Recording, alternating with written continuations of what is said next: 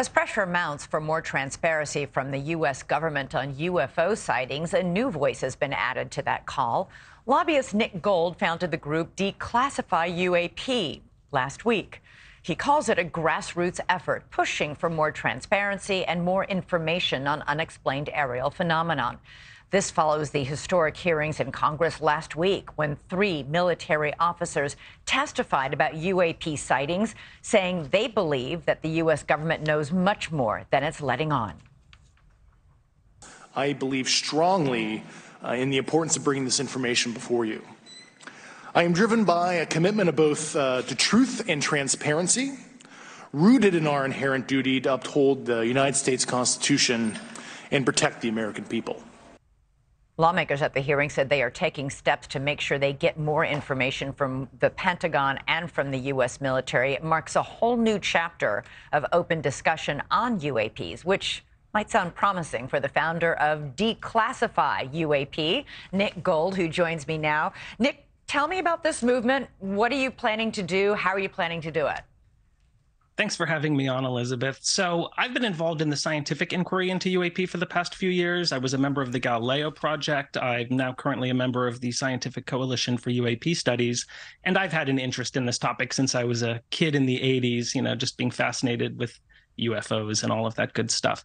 And you know what I've observed for years now is that you know many of the types of topics we have interest around as citizens that we elevate into becoming issues that we engage around with our elected representatives those orgs largely didn't exist for the UAP topic and you know given you know the potential magnitude of what this might imply and we don't take an official stance on what right. UAP might amount to but we realized we need to have the public putting more pressure on our elected representatives if we expect any movement on this. So yeah. I wanted to start an organization that gives those tools to people. We heard in those hearings last week from you know, two of the three witnesses were military pilots who said that many of their own videos that they record of UAPs when they're out uh, flying maneuvers, doing exercises, that sort of thing, are classified. Um, and and nobody and can't be shown to anybody. What are you doing with your group to try and put pressure on Congress to then put pressure on the military to declassify these videos? many voices coming together. And I think that's the only thing that we can do. I started this as a lobbying organization, and I will be engaging in some direct lobbying.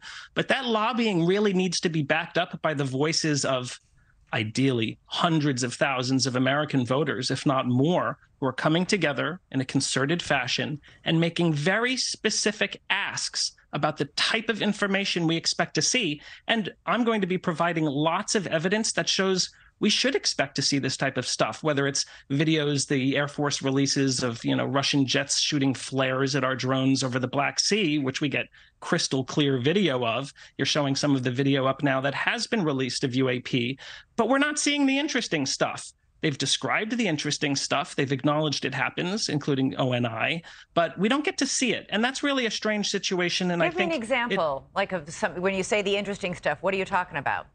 Well, let's take that Tic Tac incident from 2004 that David Fravor described at the hearing. And I, I, managed to get into the hearing last week. It was incredible to kind of be at that historic moment, getting, you know, to hear him describe this science fiction sounding encounter. And we have to remember the deputy director of the Office of Naval Intelligence, Scott Bray, in the House hearing last year, confirmed that the public is basically aware of what happened in the Tic Tac incident, that the Navy has data on that incident that validates that our understanding of the incident essentially took place, and they have multiple sensors that validate that. And yet we haven't seen any of that. We haven't seen it. Even well, we've seen the video we're looking at right it. now. We have seen some video from David Fravor's encounter, but as David Fravor testified, you're right. There were many other pilots in the skies that night. There was an aircraft carrier uh, on the ocean floor, on the ocean surface below. So, and they were tracking it with their radar.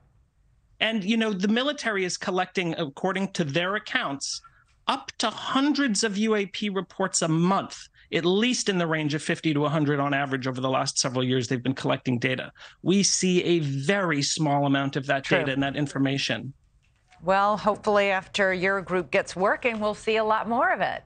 You yes, and the please have us who back are. on after declassifyuap.org launches. I can't wait to tell people more about it. All right, Nick Gold, thanks so much for being with us Today. Thanks so much for watching. Go to joinnn.com to find News Nation on your television provider.